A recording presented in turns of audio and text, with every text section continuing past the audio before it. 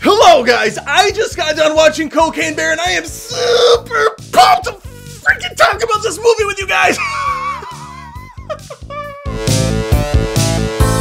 I thought the only reasonable way to talk about Cocaine Bear was to do some cocaine myself, and then I would be perfectly amped up and psyched to talk to you about the film. Cocaine Bear came out this year, 2023. It's directed by Elizabeth Banks, who's the same person that directed that absolute pile of crap, that steaming pile of beep. You know it. I know it's Charlie's Angels. Not the one from 2000, not the sequel Full Throttle. This was a newer movie and everybody hated it. So she said, I have to go back to the drawing board. I'm gonna come up with something that's gonna blow everyone's mind to smithereens. I'm talking about a bear who's high on cocaine. How's the movie though, you might be asking? Is this a movie that I'm going to enjoy? Well, it depends.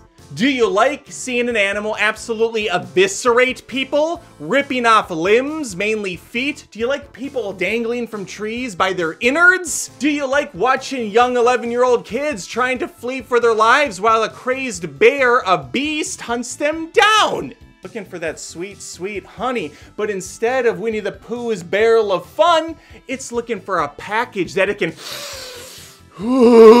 take all the way inside of its belly.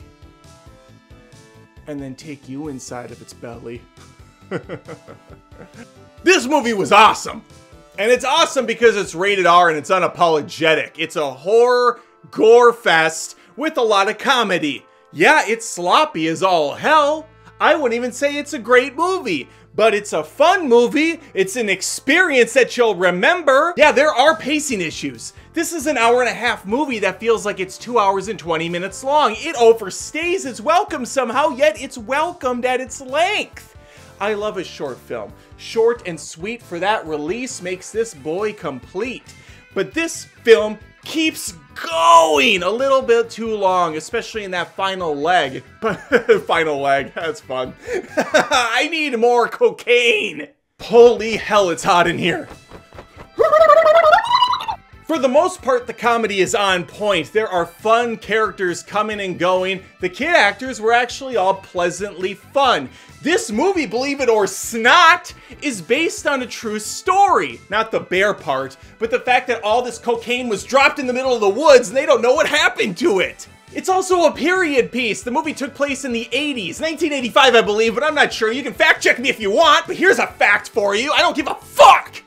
Visually, the movie looks a little flat. There are some fun drone-like shots scattered throughout. It has that 80s feel to it without being over the top in your face. There's not like a Nintendo laying around in a person's house, followed by a box of Captain Crunch, followed by some old Pepsi cans like you see in a lot of these hack 80s movies that have come out today. I'm sick of that shit. I don't need to see a fucking Rubik's Cube in the corner to know that this is an 80s movie. I don't have to have retro music constantly shoved in my face. There is some good music in this, but it fits. It works. It doesn't feel forced. Now let's talk about the effects. That's another story. This bear looks like ass. This thing looks terrible. It's a step above those live action Scooby Doo movies. It's not good, but it still works. It somehow works. I was fearing for these people when that bear is climbing up the tree, where people are running, when they're crawling, getting through bushes and bramble and blamble. It doesn't matter. That bear's gonna freaking get you. That bear is gonna hunt you down. It's gonna start eating you. And the camera's not gonna shy away from showing it. Elizabeth Banks still has a lot to learn though. There's some shots in this movie that look like absolute dung. There's a shot of a truck where guys are talking and, and, the camera's just stock right there. It looks ugly. It's not framed up well. You can barely see what's going on inside of the windshield. There's some odd camera angles all around, but again, the movie works good enough. I get knocked down, but I get up again. You're never gonna keep me down. I get knocked down. I'm Hermione Granger. Yeah, I know, you dumb bitch. Kiss me. And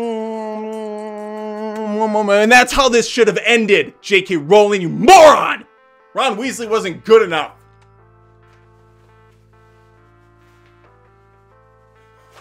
You take a whiskey drink, you take a lager drink. You take a lager drink, you take a vodka drink. And then the song's time to pick up the best time. And you say, you only hear what you want to. Ba, bum, bum, bum.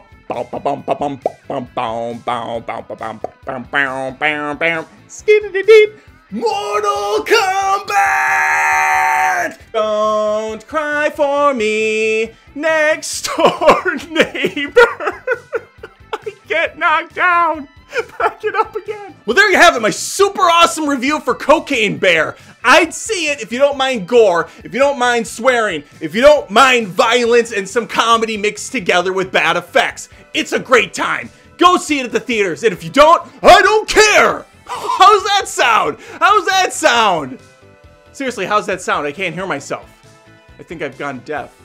What's the deal with DVDs? Why do people have them anymore? You can find the shows on streaming services until they change where it's at every freaking week. You're on Netflix right now, Seinfeld. I don't know where you're going to be in a month. Make sure if you're not subscribed to this channel, you hit that subscribe button right away. Take your finger and fucking hit it! Hit the subscribe button now! Do it! Just do it! Make your dreams come true! Remember that? Shia. Pour one out for Shia. He's still alive. Thank you, voice in my head. He's still alive. Like the video if you had some fun. Comment below if you saw Cocaine Bear and what you thought about it. And I'll hopefully see you next time. Jeremy Jahns. Jeremy Jahns. Jeremy Jahns.